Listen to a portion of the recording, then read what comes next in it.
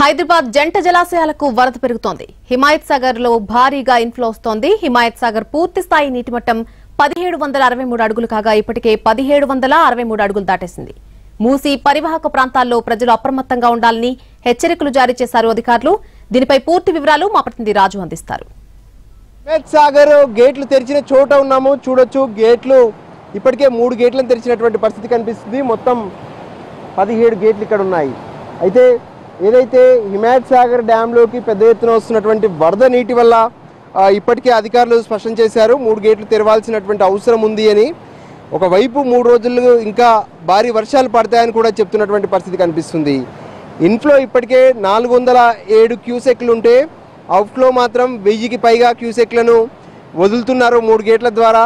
మరింత వరద పెరిగితే ఈ గేట్లను కూడా పెంచుతామని చెప్తున్నారు. ఇప్పుడు ఈ నీరంతా కూడా మూసీలో ప్రవహిస్తుంది. ప్రధానంగా హిమాయత్ సాగర్ పైన ఉన్నటువంటి ప్రాంతాల్లో అంటే వికారాబాద్ కావచ్చు తాండూర్ అటు నుంచి వస్తున్నటువంటి వాగులన్నీ కూడా పెద్ద ఎత్తున వరదను తీసుకొస్తున్నటువంటి పరిస్థితి ఉంది. ఈ నేపథ్యంలోనే ఫ్లోటింగ్ పెద్ద ఎత్తున మూసీలోకి వెళ్తుంది. మనం చూడొచ్చు మూసీలోకి వెళ్తున్నటువంటి వరద ఎలా ఉంది ఏంటి అనేది. ఎందుకంటే ఇక్కడ నుంచి పూర్తిగా కూడా హైదరాబాద్లో ఉన్నటువంటి బాపుఘాట్ అంటే లంగర్ హౌస్ వద్ద ఉన్నటువంటి బాపుఘాట్ వరకు వెళ్తుంది. ఆ తర్వాత కంటిన్యూస్గా మొత్తం కూడా వరద మూసీలో వెళ్తున్నటువంటి పరిస్థితి ఉంది. ఇప్పటికే కొంత మూసీ పరివాహిక ప్రాంతాన్ని మొత్తం కూడా హెచ్చరించారు.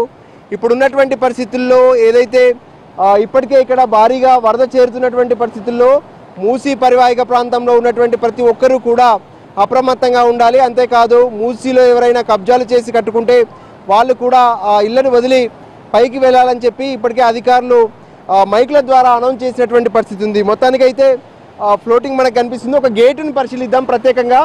మనకు ఏదైతే అక్కడ ఉన్నటువంటి గేట్ ఉందో ఆ గేట్ వరకు కూడా వాటర్ ఉంది ఇప్పుడు.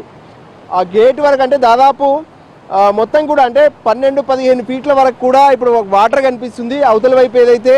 సో ఈ నేపథ్యంలో వాటర్ మాత్రం పెద్ద ఎత్తున ఆ, హిమాయత్ సాగర్లో ఉన్నటువంటి పరిస్థితి మనకు కనిపిస్తుంది. ఈ నేపథ్యంలోనే మొత్తం కూడా అంటే మరో మూడు రోజుల పాటు భారీ వర్షాలు అంటున్నటువంటి నేపథ్యంలో ఇప్పటికైతే భారీగా వర్షం పడుతూనే ఉంది. ఆ లోతట్టు ప్రాంతాలన్నీ జలమయమవుతున్నటువంటి పరిస్థితి కనిపిస్తుంది. మరోపక్క ఇన్ఫ్లో కూడా హిమాయత్ సాగర్కు పెద్ద ఎత్తున వస్తున్నటువంటి పరిస్థితి ఉంది. ఈ నేపథ్యంలోనే ప్రజలంతా అప్రమత్తంగా ఉండాలి. ఇళ్ళకే పరిమితం కావాలని చెప్పి స్వయంగా ముఖ్యమంత్రి ప్రజలను కోరినటువంటి పరిస్థితి కనిపిస్తుంది. మొత్తానికైతే వరదలు పెరిగిపోతున్నాయి. ఏదైతే ప్రతి ప్రాజెక్టులోకి పెద్ద ఎత్తున నీరు వచ్చి చేరుతున్నటువంటి పరిస్థితి కనిపిస్తుంది. కెమెరా పర్సన్ ప్రభాకర్తో కలిసి రాజు ఎన్టీవీ.